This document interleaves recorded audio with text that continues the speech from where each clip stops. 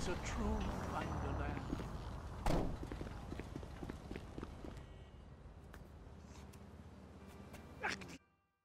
There you are, Jock. Yeah, I got you that stuff. Oh, great. Where's your wife? Mrs. Thornhill, she's not mm-hmm. my wife. She's got a husband and two lovely kiddies at home. We met online. It's no, nothing sexual. Where is she? Well, she's been trying to throw herself under celebs' wheels. well, well, she can throw herself under my wheels anytime. oh, I knew you were funny, Jock. Yeah. I knew I would like you. C- can I have a hug? Okay. Yeah. Uh, yeah. Come here. Come here. I've got a protruding hip. It's not a semi. Nigel! Jock! What? You won't believe what's happened! What? Only Al Di Napoli walking. He actually walks! He walks walk among us. Well, then what are you freaks waiting for? Well, that's a long story.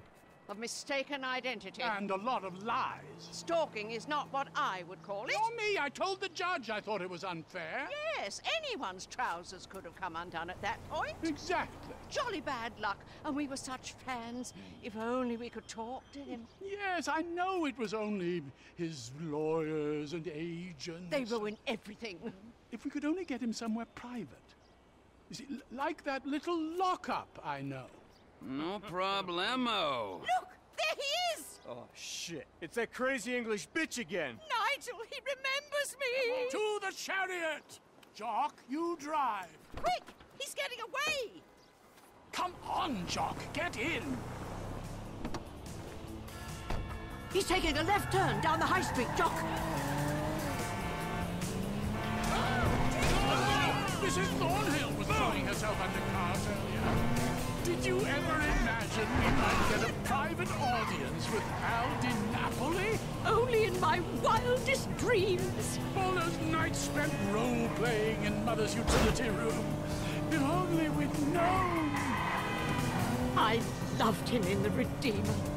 Oh, Nigel, do your Al Di Napoli line. This is turban warfare, motherfucker. It's uncanny. oh dear. Oh, my word, Jock, do you see that lorry? What the fuck's a lorry? Have a little faith. Anyone think this was my first kidnapping. I hear that behind his charitable public face, he's remarkably right-wing. One can but hope. Liberal in the bedroom, conservative at the border.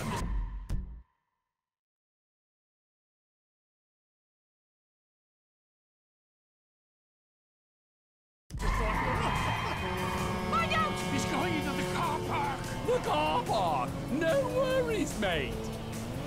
What on earth will we feed the man? I hadn't even thought of that.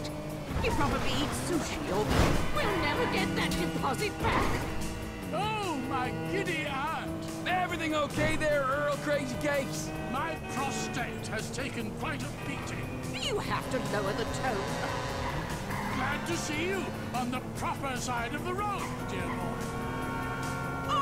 I hope he likes us. How could he not? This lockup you prepared sounds charming. This must be second nature to you, Jock. Is he going through the hospital? Oh, my lord! Hold on to your corset!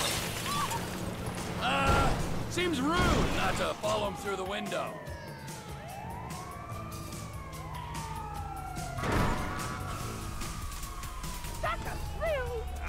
Would you like me to escort your guest of honor to the trunk? Well, if you don't mind. Oh, come here, you! Come on!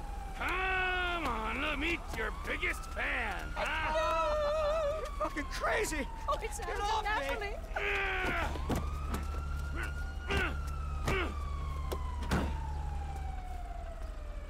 Napoli. To go! Ah, a true gentleman. This is so exciting.